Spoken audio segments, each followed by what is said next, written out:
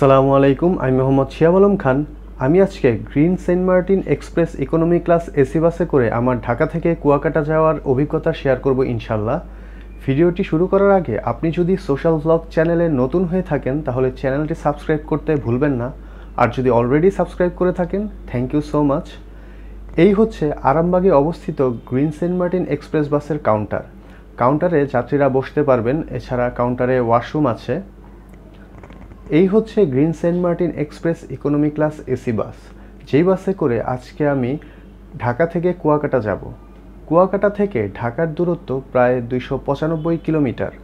বাসটির Outlook সুন্দর। এছাড়া বাসটি খুব বেশি পুরনো না।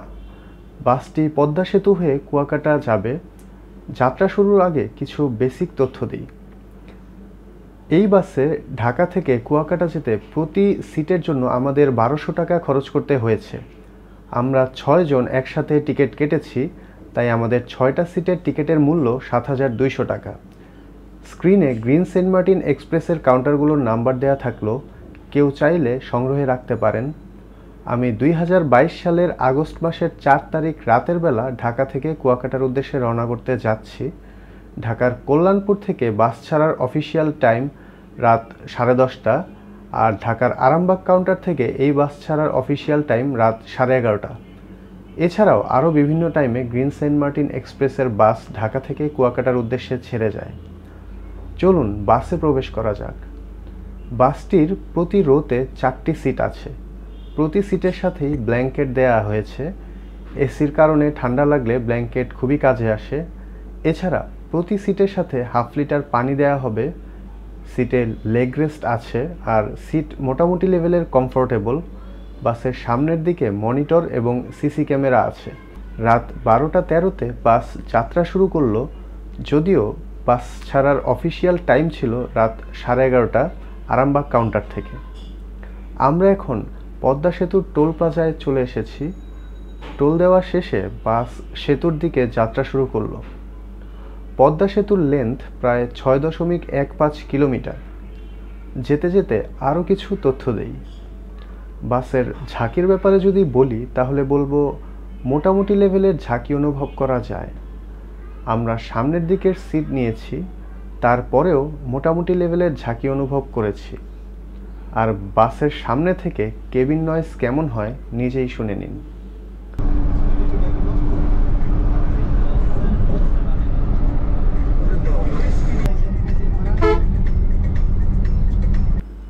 পদ্মা সেতুর লাইটিং দেখতে ভালোই লাগছে।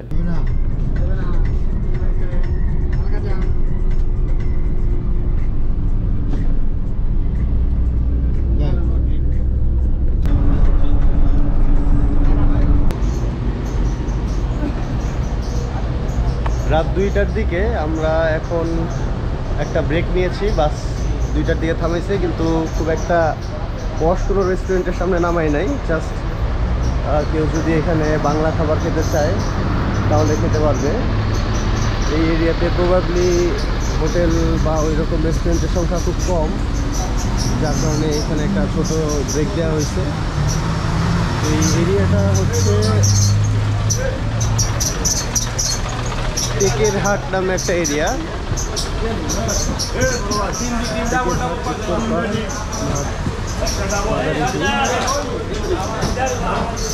এখানে আমরা হালকা নাস্তা করে চাটা খেয়ে তারপরে ইনশাল্লাহ আবার বাসে ব্যাক করব।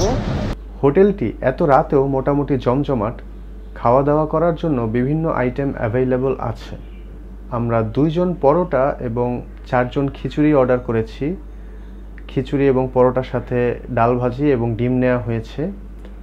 এবং খাবারের টেস্ট যদি বলতে হয়, তাহলে বলব টেস্ট খুবই ভালো ছিল। খাওয়া দাওয়া শেষ করে আমরা আবার রওনা দেই।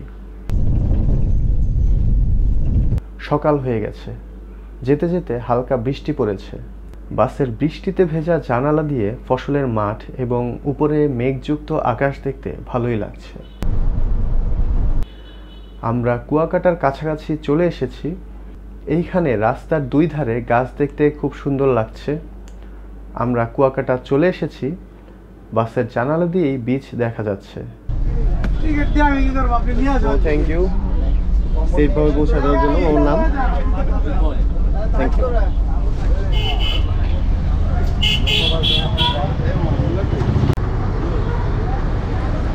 ছয়টা তেরোতে আমরা কুয়াকাটাতে পৌঁছাইলাম। এই হচ্ছে আমাদের বাস। বাসের চালক এবং হেল্পার যথেষ্ট আন্তরিক ছিলেন। এই বাসে আমার ওভারঅল এক্সপিরিয়েন্স ভালো ছিল। এমন আরও ভিডিও পেতে চ্যানেলটি সাবস্ক্রাইব করতে ভুলবেন না। আজকে এখানেই বিদায় নিচ্ছি। আসসালামু আলাইকুম।